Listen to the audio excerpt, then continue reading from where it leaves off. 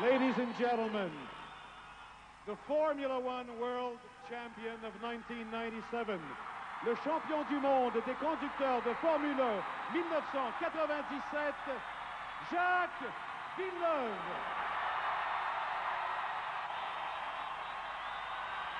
L'itinéraire qui a conduit Jacques Villeneuve au titre de champion du monde de F1 n'est pas banal. Un véritable tour du monde en guise de parcours initiatique. D'Italie en Amérique du Nord, en passant par le Japon.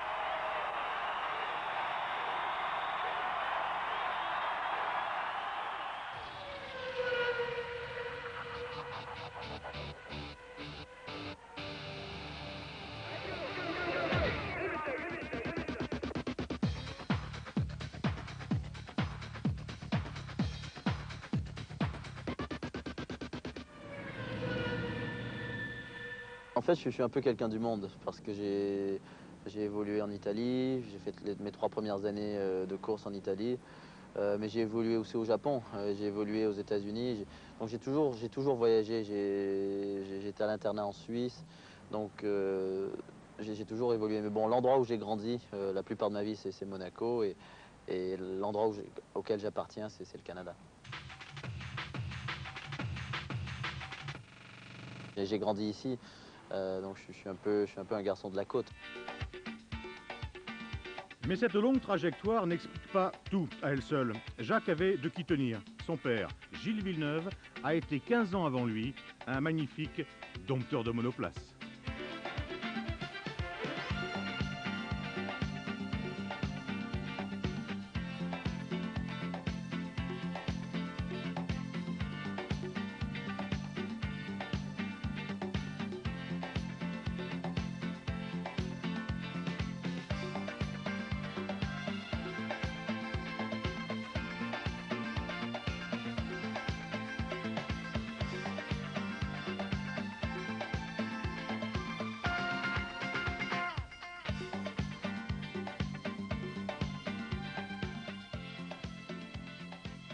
Superbe référence, Jacques en donne un écho tout en retenue et en pudeur. Le plus de souvenirs que j'ai à la limite, c'est les, folies, c'est faire quelques folies euh, avec mon père, quoi que ce soit dans une voiture ou, en hélicoptère ou n'importe quoi. Mais c'est soit, soit recevoir des cadeaux, soit, euh, soit des folies.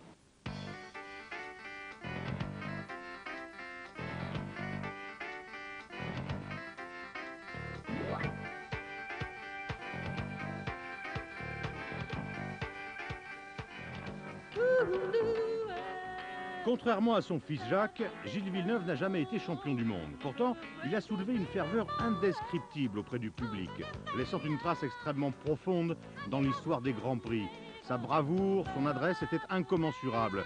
En témoigne, entre autres prouesses, le fameux duel qui avait opposé sa Ferrari à la Renault Turbo de René Arnoux à Dijon en 1979.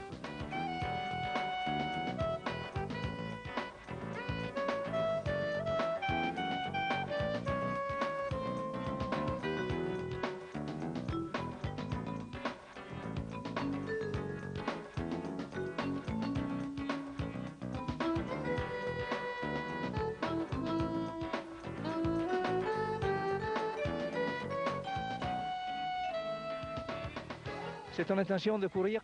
C'est ça que je vais faire dans le futur. Avec un papa comme le sien, Jacques Villeneuve ne pouvait guère tourner le dos à la course automobile. Encore adolescent, ignorant sans doute que le goût du risque s'emparerait bientôt de lui, il se glissa un jour au volant d'une petite monoplace d'initiation. C'était à Monza, ce fut le déclic. Peu après, il décidait de partir en Italie, courir en F3.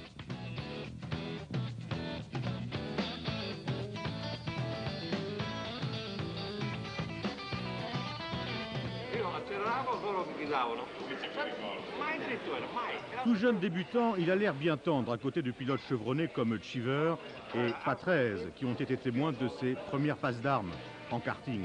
Pourtant, notez bien, un détail souligne déjà une personnalité affirmée chez lui. Plutôt que reprendre les couleurs du casque de son glorieux papa, il a choisi pour le sien une décoration multicolore, toute personnelle.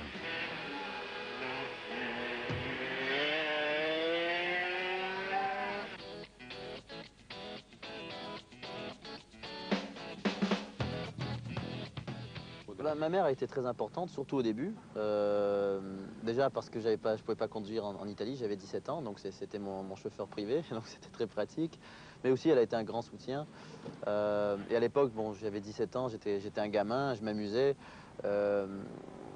donc il me manquait, il me manquait un, petit quelque chose de la vie et c'était très important. Euh, j'aurais pu me faire bouffer facilement, donc c'était important d'avoir ma mère euh, à ce moment-là.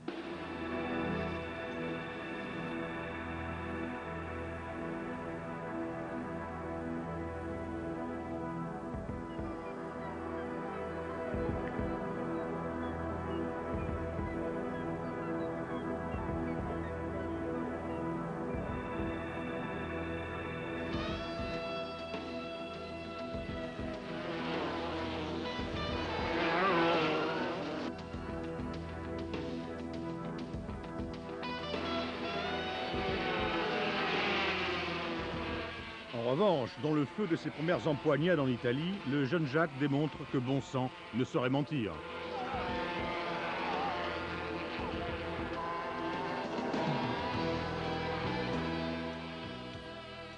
À 18 ans déjà, il avait de toute évidence le cœur et le caractère bien trempés.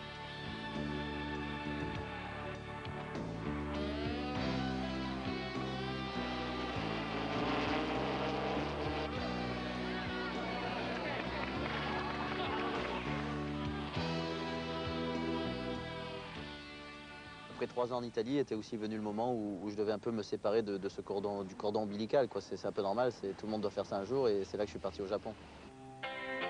Après avoir signé ses premières victoires au Japon, toujours en F3, c'est en Amérique du Nord, sur le continent où il avait vu le jour en 1971, que Jacques Villeneuve délivrera ses premières vraies promesses.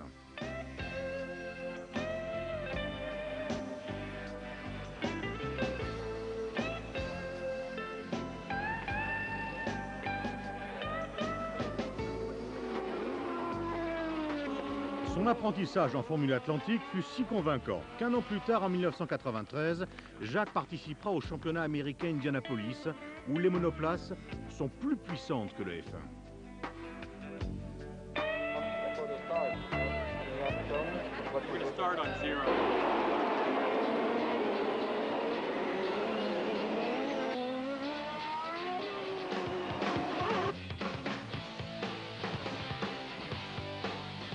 En dépit d'un décor parfois trompeur, comme en témoignent les sourires de gracieuses hôtesses, les choses sérieuses commençaient vraiment.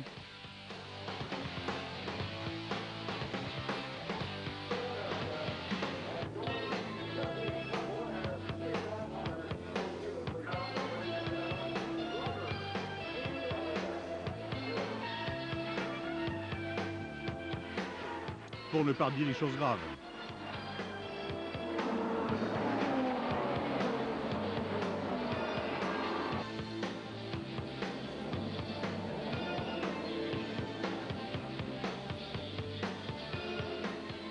Un éprouvant accident à Phoenix lorsqu'il avait percuté la monoplace du japonais Matsushita en travers sur sa trajectoire, ne réussit pas à entamer sa détermination.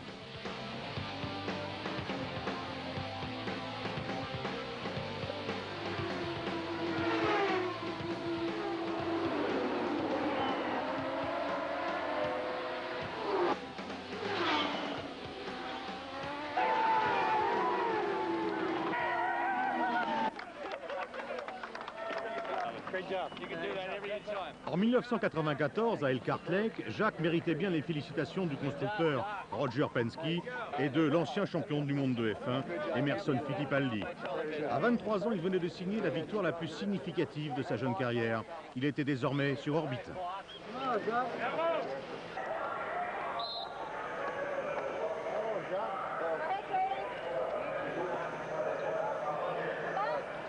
Toutes les marches que, j'ai suivies dans toutes les étapes euh, de ma carrière ont été très importantes. Il y a toujours eu une énorme dose d'apprentissage.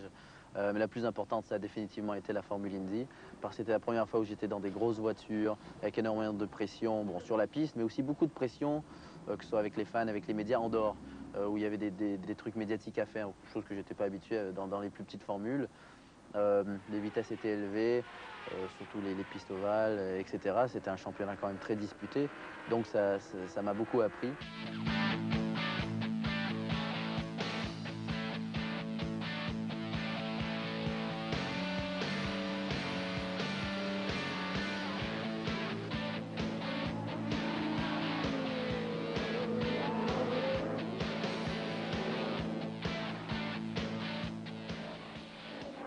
Victoire au 500 Minneapolis et la victoire du championnat, bon, c'est sûr que ça m'a beaucoup aidé mentalement. Dire, la confiance, je l'avais, dans, ma tête, je savais que, je pouvais gagner, sinon j'aurais jamais compétitionné. Mais au moins après, les gens se posent moins de questions, enfin, c'est quand même important. Ça m'a permis d'arriver en Formule 1 avec, avec Williams.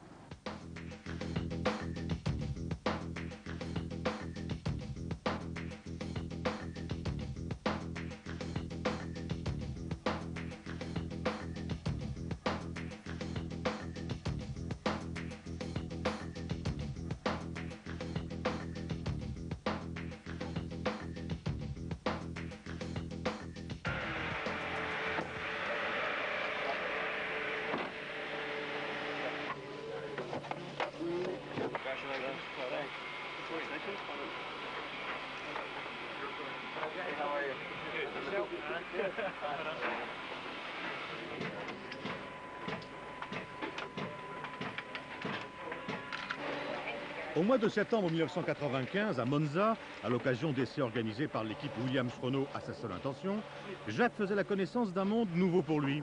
Un monde plus impitoyable qu'à Indianapolis ou à Dallas, où les feux de la rampe sont parfois trompeurs.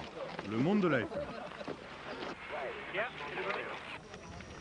facevamo l'anno scorso per la Juventus adesso dobbiamo fare come la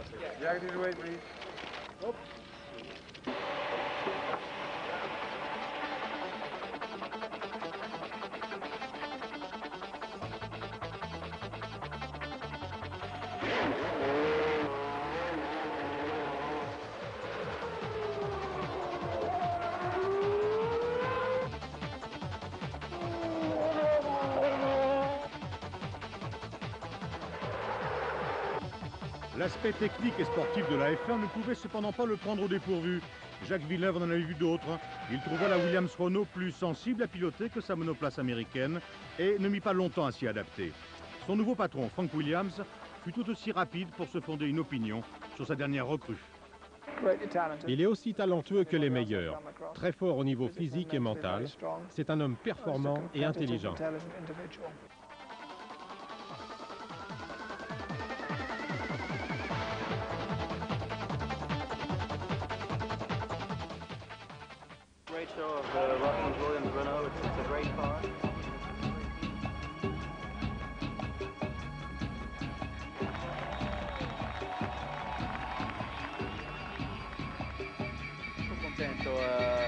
Abbiamo, abbiamo lavorato forte con, con Jacques. William Renault est une très très bonne voiture. Dès son premier Grand Prix de Formule 1, Jacques fit honneur à son nom et à sa jeune réputation de sprinter. Sur l'inédit circuit de Melbourne, il dérouta son propre équipier, Damon Hill, en lui soufflant la pole position. Damon en fut soufflé.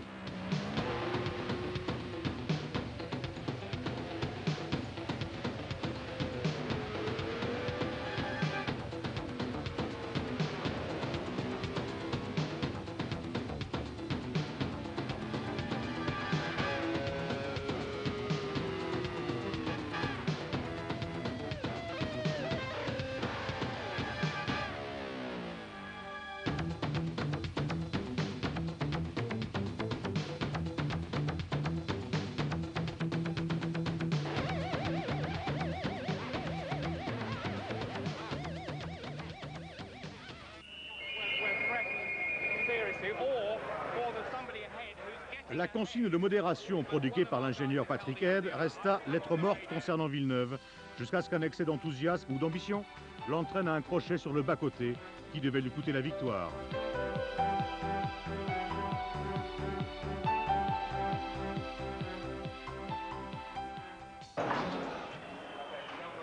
Au lieu d'attendre que le monde de la F1 adopte, Villeneuve désirait y imposer sa personnalité ce qu'il fit sans ostentation, mais avec une surprenante sûreté de soi.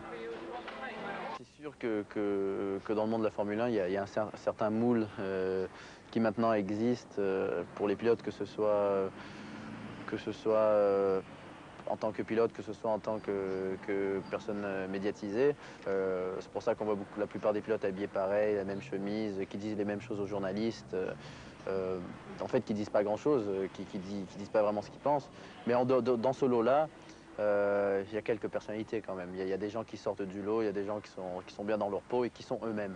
Et c'est là où j'ai eu de la chance avec Williams, c'est qu'ils m'ont laissé être moi-même. de toute façon, j'aurais pas pu ne pas être moi-même.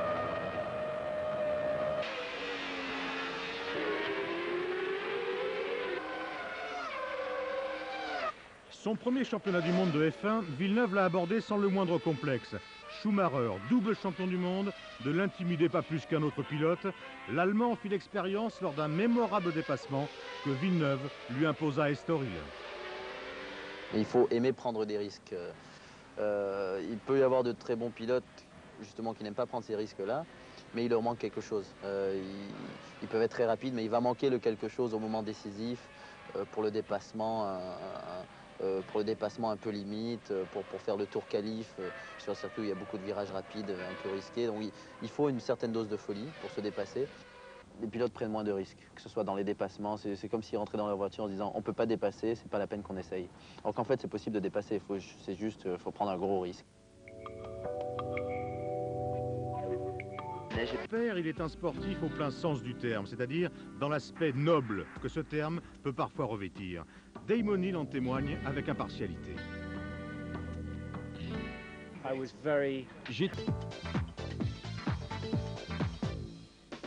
Sans doute chez Williams.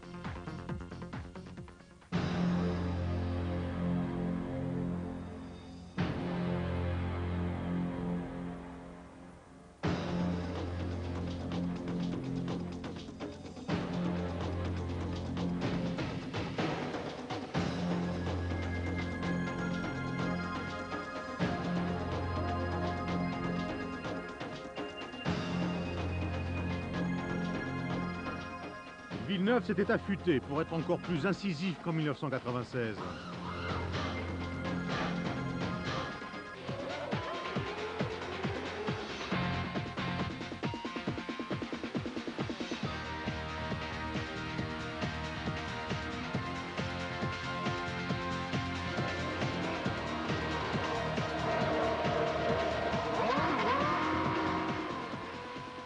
Chacun, pilote et mécanicien, a eu sa part de responsabilité dans un succès ou un échec.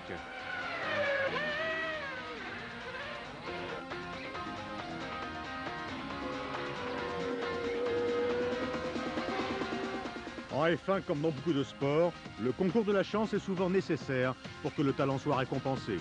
Ainsi, Dame Fortune est parfois venu au secours de Villeneuve en Hongrie. Il a dû un ennui sur la rose de son ancien équipier Démonil de lui souffler la victoire dans le tout dernier tour. to the winning constructor.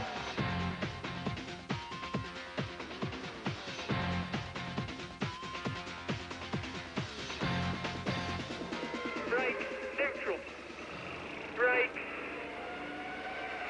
Break. Map, Jack, map.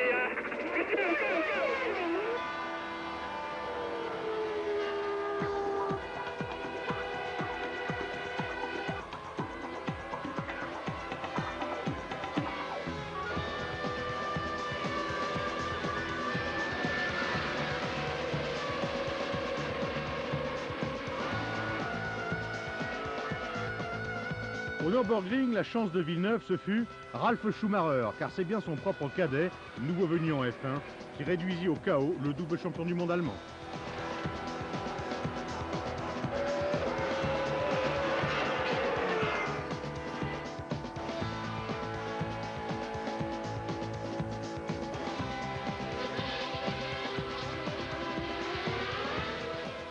Du Japon, c'était au tour de Villeneuve de déchanter, après avoir subi la loi d'une course d'équipe entre les Ferrari, Berwijn et Schumacher. Jacques était déclassé pour avoir aux essais négligé de ralentir sous les drapeaux jaunes qui signalaient un danger.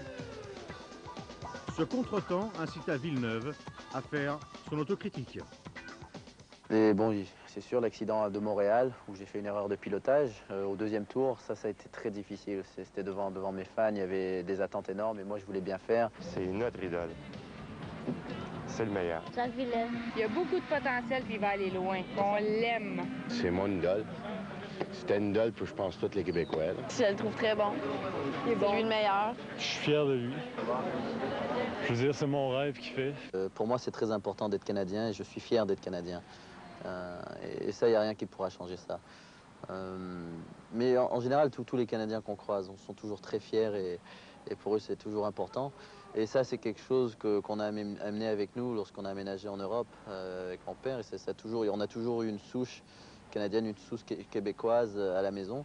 Et donc l'accent n'a jamais disparu. Ben, c'est pas ça, c'est que je veux, veux pas me parquer tout, tout de l'autre bout puis me marcher un kilomètre. Là. Parce que d'habitude, tout le monde passe sur la passerelle. Chez, chez, chez, chez, chez, mais c'est complètement plein.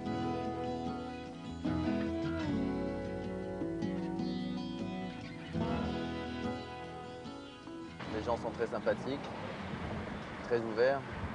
Il y a une bonne ambiance et puis il y, a une bonne faune aussi. Ça, ça bouge bien. Si on veut faire la fête, c'est génial. Donc c'est bien à toute heure dépendamment de ce qu'on veut faire.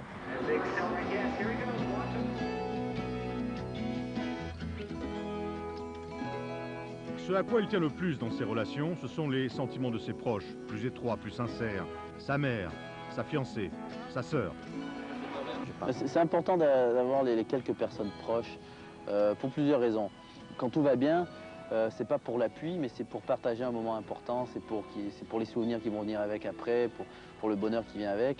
Et dans les moments difficiles, il faut quelqu'un sur qui s'appuyer, euh, quelqu'un à qui on peut faire confiance. Euh, et ça, il faut que ce soit des gens proches.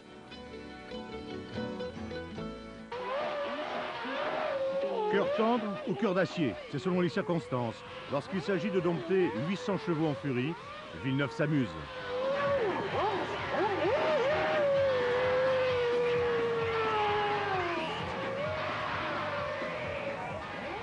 De quel pilote pourrait avoir peur ce jeune virtuose?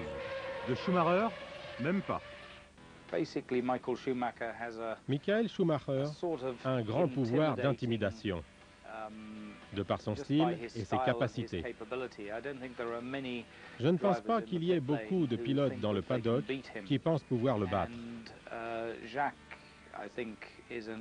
Jacques a un esprit indépendant et nous pensons qu'il ne sera pas perturbé par des problèmes du genre « Michael est invincible ».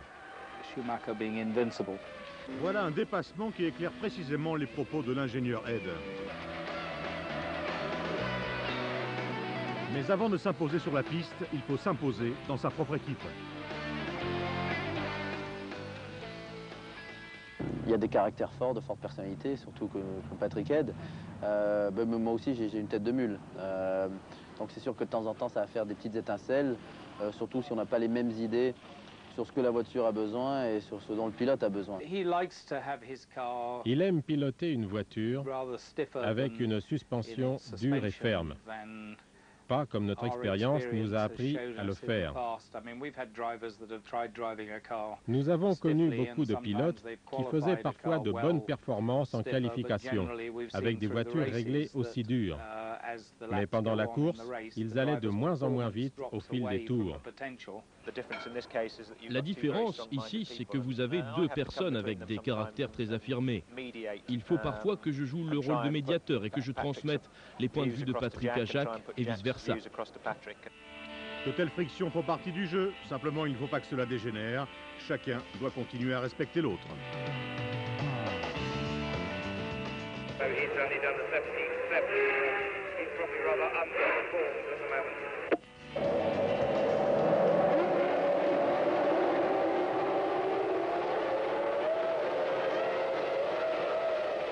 Sous son aspect de rugbyman rablé et têtu, Patrick Head cache un talon d'Achille.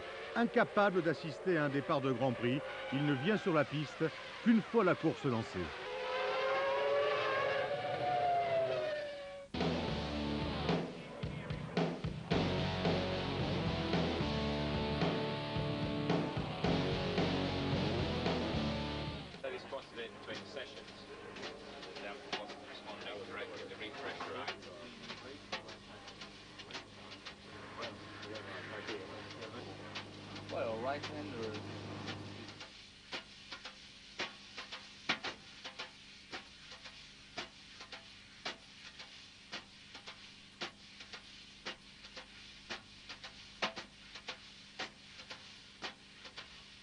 A tout de suite compris aussi euh, que oui, euh, la voiture, euh, elle fonctionne comme ça, que les ordinateurs disent ça, mais bon, c'est quand même le pilote qui a ses fesses dans la voiture. Il faut que le pilote ait confiance, il faut que le pilote ait confiance dans son ingénieur et qu'il sache qu'il puisse repousser les limites avec, son, avec le matériel.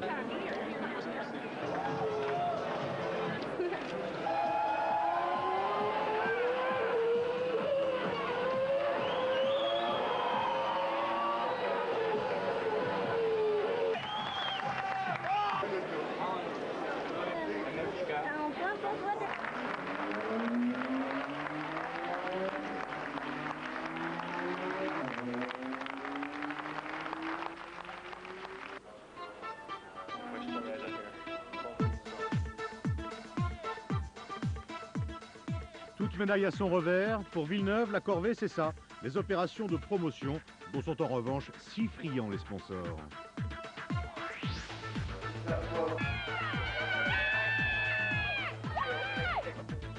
Les journées médiatiques, c'est vraiment ce que, ce que, j'aime pas faire. Ah, mais bon, c'est sûr que tout le monde veut maximiser. Et, si, si, on nous fait faire le clown et ça fait faire euh, plusieurs photos, ça donne plus de trucs à donner ou à vendre, j'imagine. Donc c'est bien pour les sponsors, mais c'est vraiment pas ce que j'aime faire.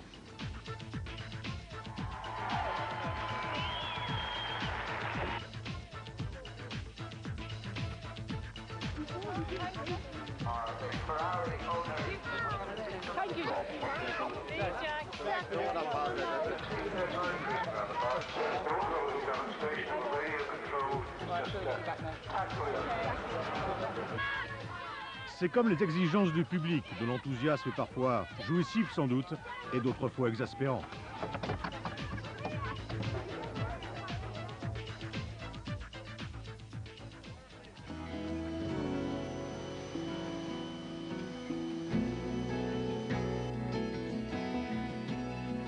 Dans une vie aussi agitée, aucun moment de calme et de décontraction ne doit être négligé. C'est ainsi qu'un avion privé devient ici un luxe nécessaire. Perdu dans le ciel, enfermé dans son cocon d'acier, Villeneuve dort comme un ange. Ou bien ouvre avec euh, Tom Holt une parenthèse de quiétude.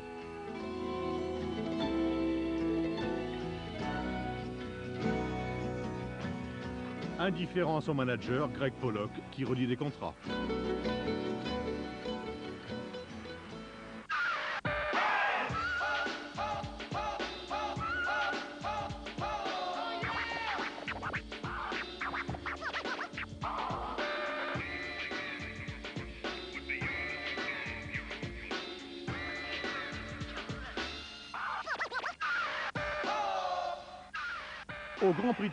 Villeneuve réussit un bel effet de surprise. Il a débarqué à Manicourt, sa frimousse comme empanaché de paille. Soudain, il s'était voulu blond. C'est pas pour les médias que je fais, c'est pas pour surprendre le monde, c'est pour moi-même. Parce qu'un jour je me réveille et puis j'ai envie, j'ai envie de me faire des cheveux en blond, et ben je le fais. Sans trop réfléchir aux conséquences. Euh, et, malheureusement, ça a beaucoup plus de conséquences que, je croyais. Bon, c'est sûr, quand j'ai fait les cheveux blonds, c'était juste après l'accident à Montréal, c'était peut-être pas le meilleur moment. Euh, c'était juste, euh, juste après l'aller-retour à Paris aussi, euh, pour m'expliquer avec la FIA. Donc c'était peut-être pas le bon, moment. Beaucoup de gens l'ont pris comme, euh, comme fait par exprès, que comme si je voulais tenter ou pousser ou énerver le monde ou faire un coup médiatique. En fait, c'est juste pour m'éclater. bon, c'est sûr, peut-être la prochaine fois, je vais prévenir les sponsors avant pour pas les faire criser. Original peut-être, fantaisiste sûrement pas. Le terme conviendrait mal à un pilote qui ne se contente pas de tirer la quintessence d'un moteur exceptionnel.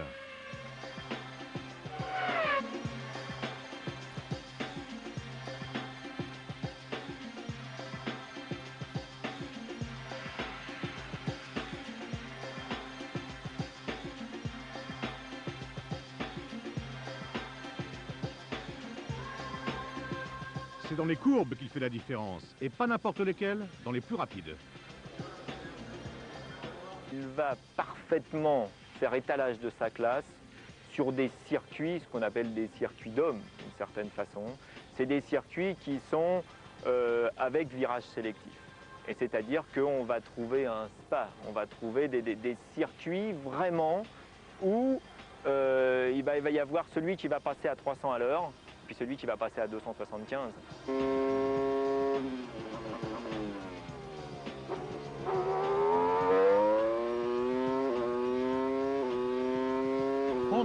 Risques possibles pour s'imposer à 20 autres pilotes aussi déterminés que vous ne peut se faire à la légère.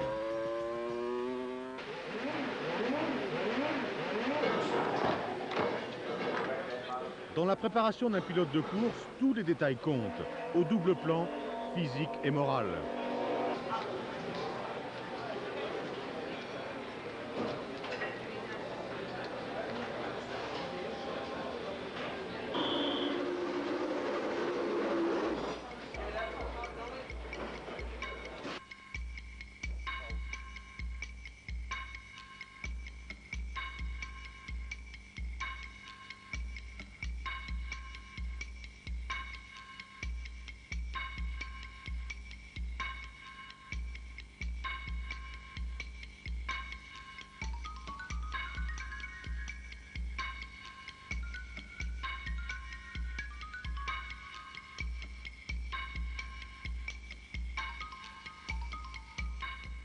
Certains mêlent même à leur cérémonial un peu de superstition. Ça, c'est parce que ça me prend une éternité pour, m'installer dans la voiture, donc euh, pour mettre les ceintures, pour être sûr qu'il n'y ait pas de plis dans l'habit. Euh, parce que les ceintures très très serrées. Euh, je ne bouge, pas d'un millimètre dans l'habitacle. tellement, tellement je suis, je, suis, serré au millimètre près avec le siège, avec les ceintures. Et une fois que je suis installé, je ne veux plus sortir de la voiture, c'est tout. Et en même temps, je me renferme au monde extérieur et je me concentre sur la course. Donc plus rien n'existe. je, vois, je, regarde devant, il y a des gens qui passent, mais je, ne reconnais rien. C'est la course, la piste, la voiture. Euh, euh, c'est un peu la cage du lion.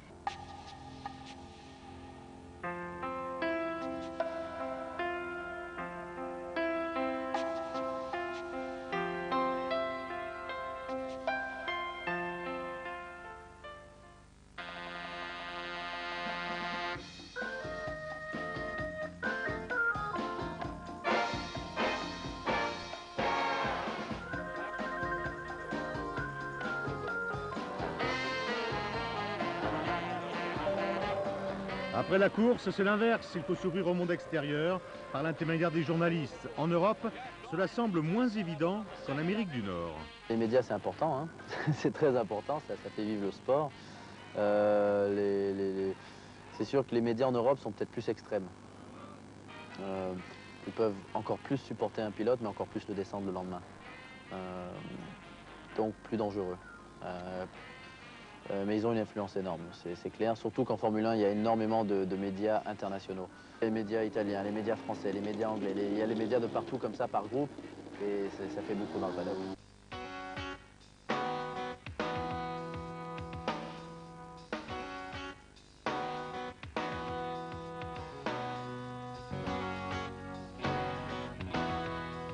Les médias sont peut-être redoutables pour un pilote, mais n'en est pas de même d'un directeur d'équipe de course. Un homme qui sait tout, ou presque, et qui décide de tout, ou presque. Comme Patrick, je pense que Jacques est un garçon qui utilise sa tête avant d'agir ou de parler. C'est une qualité indispensable pour être un pilote qui gagne. Il faut qu'il soit toujours maître de la situation à tout moment. Et Jacques est un homme comme ça.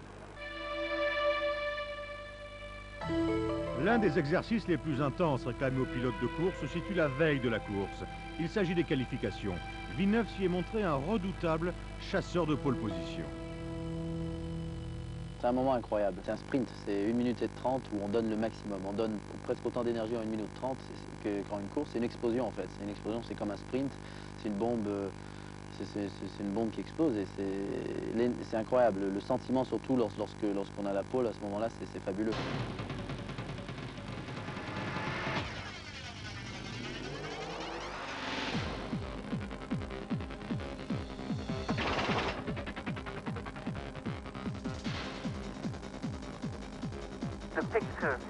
Very bad.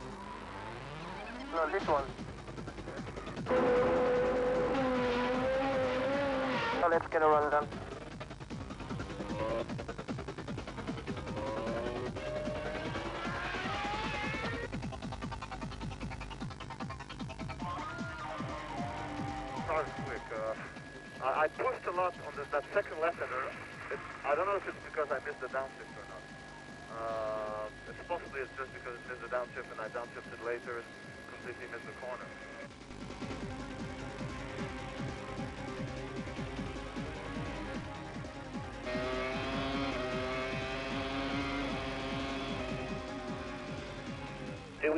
car? That almost then it means we'll have to run another two sets. I.e. we'll have to go out a quarter two, see what the track's like, and then give you another set to make a change. The, the high-speed corner was fairly nervous. I can't allow to go less downforce.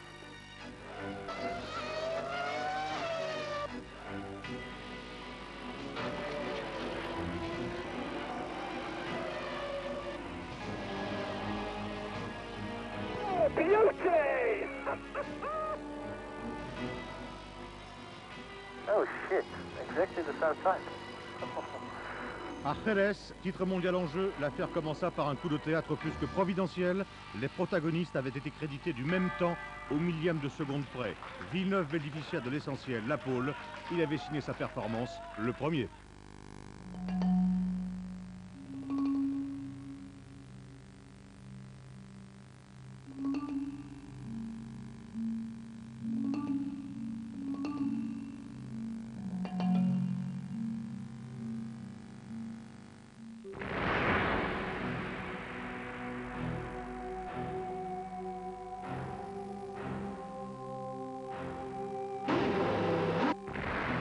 Quelques heures du départ, ultime mise au point.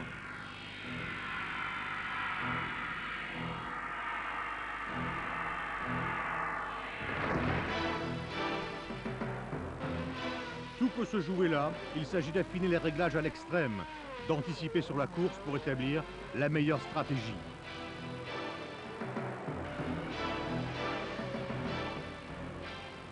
Quelqu'un a évoqué un jour le regard de tueur des grands sportifs avant une rencontre décisive. Il y a de ça.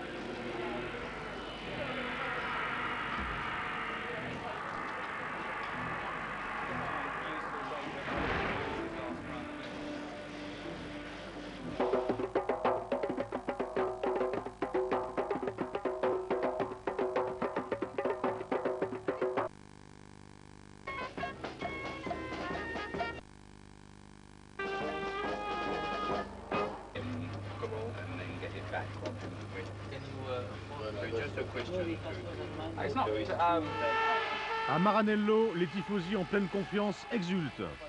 Chez Williams, c'est la veillée d'armes.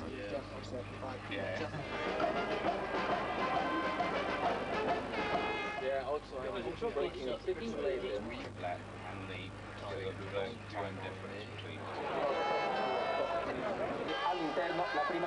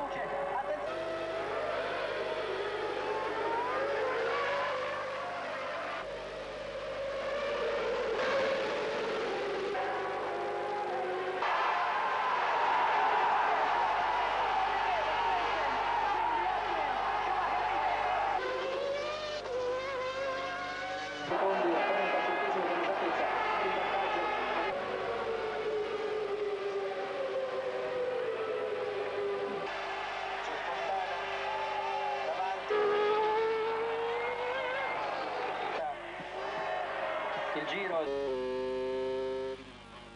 Come on, Jack, you need to push now. Come on.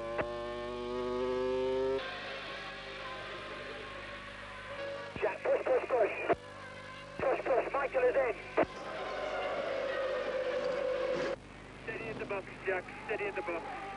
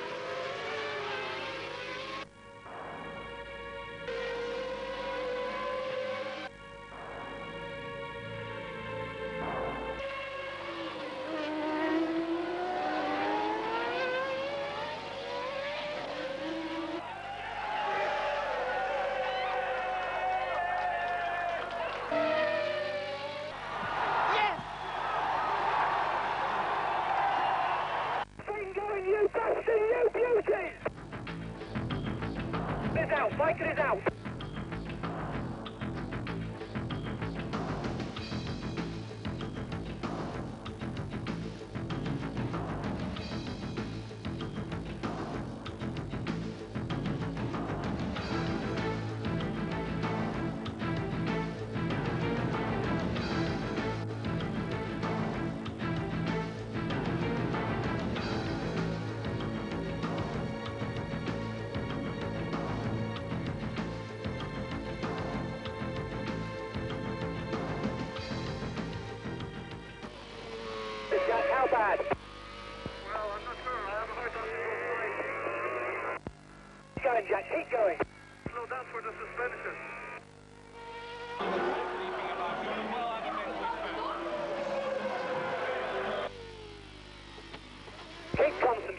Jack, but Hakkinen is immediately behind.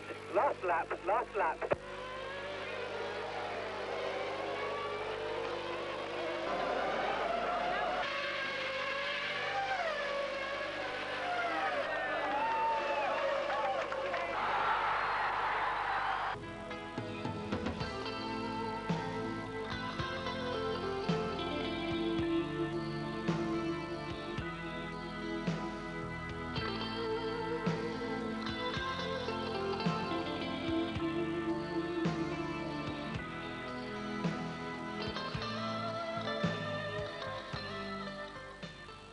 Moment meilleur, ça a été dimanche euh, à Jerez. Ça a été de gagner le championnat avec une grosse bataille. Euh, je pense qu'on m'a jamais vu aussi heu- heureux sur un podium. Euh, D'habitude, je suis très peu expressif, je garde le plaisir à l'intérieur, mais bon, là, là, c'était surtout quand j'ai vu après tout la, plupart de l'équipe, des gens de, Renault aussi avec, une perruque jaune. c'est- un moment très, très, très, très fort et très, très important dans ma vie.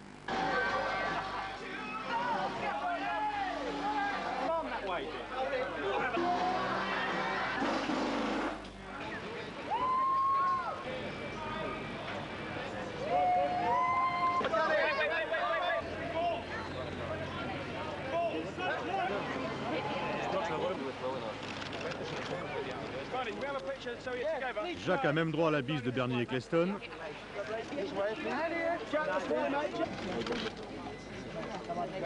Avant les compliments, très maîtrisés, de Frank Williams.